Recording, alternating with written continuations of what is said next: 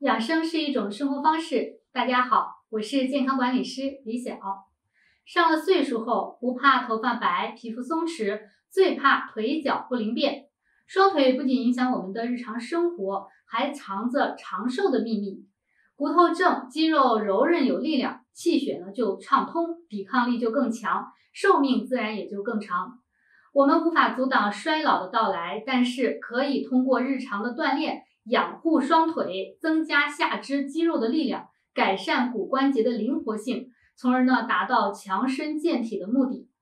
今天呢就教给您一套壮骨柔筋操，每天练习一遍，双腿不老。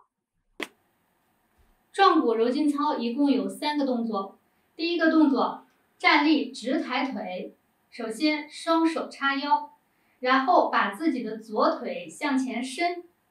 之后上下勾脚尖，连续十个，一上一下为一次，连续勾十次。之后再换右腿，重复做。这个动作可以改善膝关节屈伸不利、抬腿没有力气、啊腰膝酸软这些问题，强壮骨骼。当然了，我们在抬腿的时候，您能抬得高就抬得高一点。抬不高，咱们就低一点，关键是要做对我们勾脚尖的动作。好，左右脚各十个。第二个动作呢，叫做提踵拉伸，双脚打开与肩膀同宽，双腿微蹲，然后向上提脚后跟，提脚后跟的同时，双手向上伸，之后放下，手臂向后甩出去。那双腿呢，回到我们下蹲的这个姿势。脚后跟要轻轻的顿一下，我们来看一下这个动作。这个动作可以锻炼下肢的肌肉，改善我们膝关节酸软乏力的问题。第三个动作叫做胸前抱膝。首先，左脚向前迈一步，这时候呢，右脚的脚后跟抬起来了，然后把我们的双手抱住右腿。用力的往胸前去抱，尽量的停留三到五秒钟，然后放下右腿，好回正。之后右脚向前迈出一步，左脚脚后跟抬起，双手抱住你的左腿，用力的往胸前抱。做这个动作的时候呢，一定要注意用力的去保持重心的稳定。好，收回。回正，接下来再换左脚，重复十次。支撑的这一条腿呀，要用力的伸直。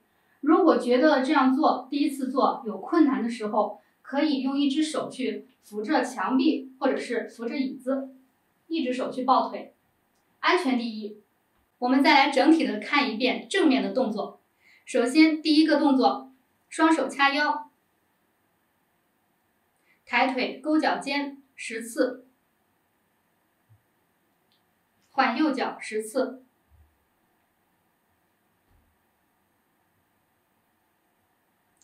第二个动作，双腿分开与肩膀同宽，膝盖弯曲下蹲，提起的时候手臂向上抬，轻轻的顿脚后跟，连续十个。